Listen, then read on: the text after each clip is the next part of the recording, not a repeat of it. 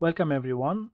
In this session for the self-employed, we're going to see how to stop being a self-employed. So if you decided to stop working as a self-employed, you have to tell HMRC that you are not self-employed anymore or maybe you are not in sole trader business anymore. So you have to let the HMRC know and of course you have to submit your final tax return. The year you decided to stop that year also you have to submit your tax return. And through the tax return you need to tell HMRC that I am not self-employed business anymore or I'm not trading as a sole trader anymore. So for that uh, purpose all you need to do you have to type on Google stop being self-employed and you will see that page will be open from the government site. And from here all you need to do you need to click here tell HMRC you are to stop self-employment. So you click here and as soon as you click here their page open and that will tell everything about the stopping self-employment.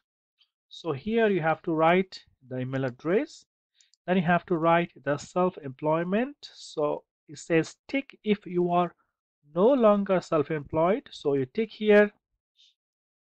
And after that you tell when did you stop working as a self-employed? So you can write any date you like the date you stop your self-employment.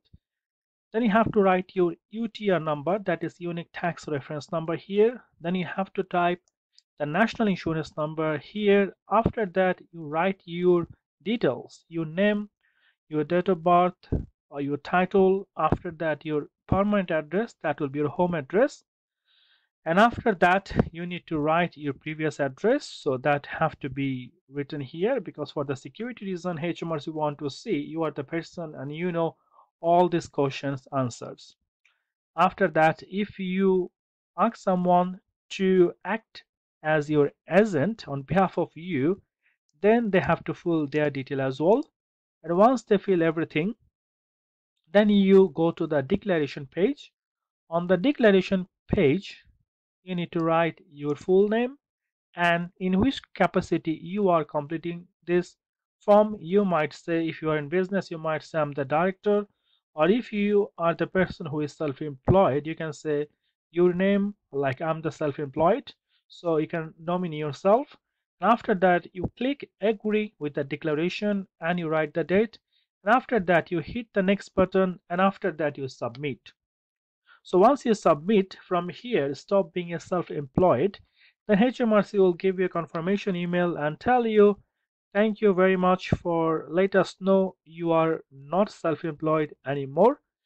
If you read it notification here they said please note HMRC are unable to accept a date earlier than seven days before the date you stop self-employment so you have to um, you have to consider this option. So you have to tell HMRC at least seven days uh, obviously.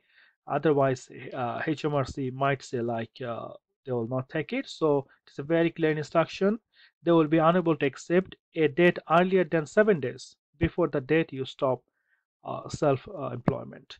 So after that once you submit this information so you have to wait like at least seven days go then you can submit your information to HMRC and uh, one more information that is like you have to submit your tax return. For example if you are in the middle of the year and you think okay I'm in June and the last tax year was submitted for April let's say 1920 so after April I haven't done anything but of course you still need to submit your tax return if it is after April. Even it is zero even if it is nil still you have to submit your tax return and let the HMRC knows like you cease the trading you are not work as a self-employed.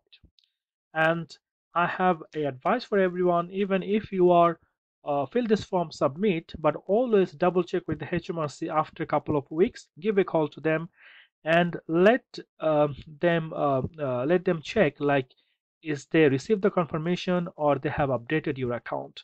So sometimes it takes some time or maybe it's not submitted properly and you think you already tell HMRC uh, you are not self-employed anymore but maybe at the end of the year they send you another letter for their self-assessment and they might give you some penalty as well. So you need to always check with HMRC they received your um, uh, you received your request and they updated your account